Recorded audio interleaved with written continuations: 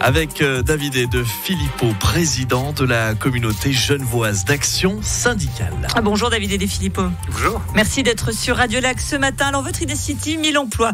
Elle propose de créer 1000 emplois, si on l'aura compris, chaque année dans les collectivités publiques si le taux de chômage atteint au moins 5%, mais aussi de favoriser la diminution du temps de travail pour tous à 32 heures.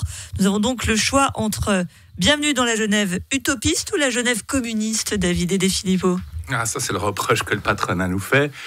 Mais euh, en tout cas, c'est pas la Genève capitaliste, on a compris. Non, si, si, quand même, mais, mais, sur une Genève réaliste, je dirais, euh, parce que euh, finalement, ce que propose l'initiative, c'est extrêmement, c'est extrêmement mesuré, au-delà, au-delà des cris d'orfraie que, que crie la droite.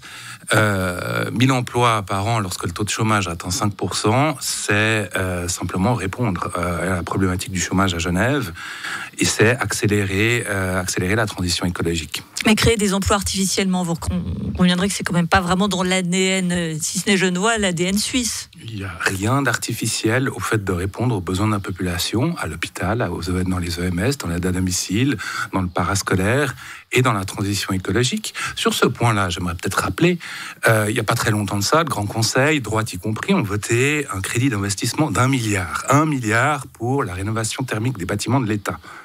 Mais cette même droite a refusé les postes qui doivent aller, qui doivent aller avec pour mettre en œuvre euh, ces investissements. C'est complètement irréaliste, irresponsable.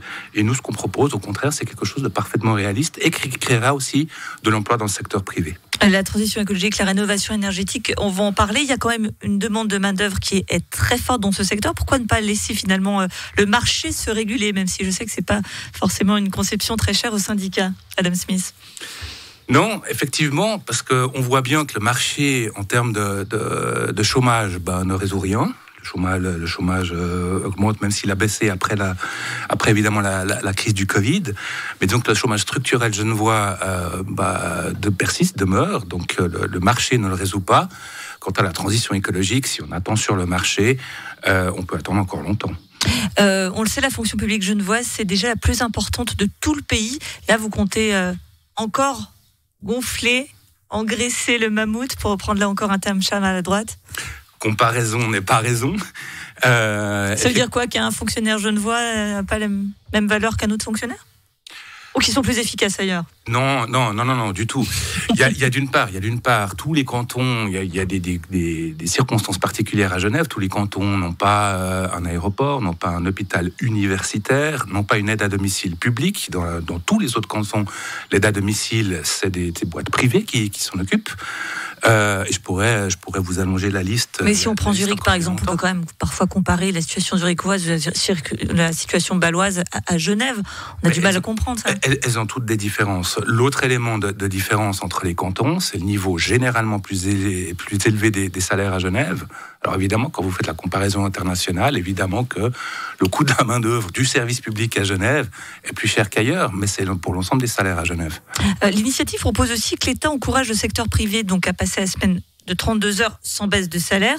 Donc faire baisser de 10 heures à peu près le temps de travail que ce qui est actuellement euh, obligatoire. Euh, on sait que les, entreprises en ce moment ont des difficultés à rembourser leurs pré-Covid, hein, notamment parce que les taux d'intérêt ont augmenté. Vous pensez vraiment que ces entreprises-là, si on leur dit il bah, faut passer aux 32 heures, elles le peuvent, même si elles le voulaient? L'initiative ne dit pas qu'elles doivent le faire, elle dit simplement que l'État doit les encourager à le faire. Il y a déjà des entreprises qui y sont passées.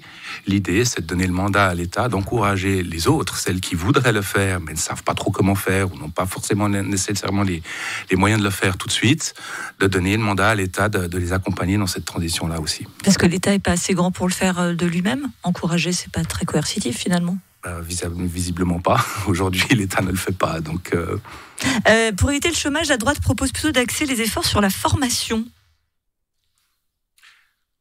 ça vous laisse sans voix. Non, non, mais c'est un peu hypocrite de la, de la part de la droite, elle qui a refusé d'entrer en matière sur un contre-projet euh, du Conseil d'État qui mettait justement en avant euh, la formation, de venir nous dire aujourd'hui qu'il faut mettre l'accent sur la formation, c'est vraiment hypocrite. Cela dit, nous, ce qu'on propose, c'est de créer les débouchés euh, débouchés pour en termes d'emploi pour les chômeurs et les chômeuses. Alors évidemment que si vous, vous mettez en place des, formations sans débouchés, ben évidemment, ça, ça, ça sert à rien. À l'inverse, de mettre en place les débouchés, c'est favoriser effectivement les formations et les reconversions professionnelles. Et, là, l'État a effectivement un rôle à jouer. Et puis pour terminer, on va parler gros sous. Alors, vous estimez que le coût de cette mesure serait de 100 millions de francs. Les opposants évoquent 6 milliards sur 10 ans. Il petit trou dans la raquette entre les deux quand même. Oui, c'est de la manipulation totale. Euh, le, problème, non, mais le problème avec ces, avec ces 6 bah. milliards, c'est que d'une part, la droite table sur un taux de, un taux de chômage de 5% pendant 10 ans c'est complètement faux. On est déjà aujourd'hui à 3,9. Donc déjà là, c'est faux. Ensuite, de, de faire l'hypothèse qu'on restera à 5% pendant 10 ans, c'est... cest dire que c'est la version pessimiste, 5% pour vous? Mais c'est la version plus que pessimiste, elle est complètement irréaliste. Euh, parce que, encore une fois, aujourd'hui, on n'est déjà pas à ce taux-là et d'imaginer que ce taux, même par hypothèse, restera à 5% pendant 10 ans, c'est omettre, omettre l'effet de, de l'initiative, l'effet incitatif de l'initiative, euh, je dirais l'effet dynamique de l'initiative qui va réduire le chômage. Et ensuite, le dernier élément, c'est que ils additionnent les coûts annuels euh, de la mise en œuvre de, de l'initiative, et ça, c'est grossir artificiellement les chiffres. C'est comme si on jugeait le bilan d'une entreprise ou d'une collectivité publique aux coûts additionnés les uns aux autres année après année. Merci beaucoup David Idefilibo, président de la CGS. Et la bonne nouvelle, c'est que donc le chômage va baisser, c'est ce que vous nous dites. Exactement. Donc ça, c'est quand même la, très très bonne nouvelle. En ce lundi 22 mai, merci à vous d'avoir été sur Adelac ce matin.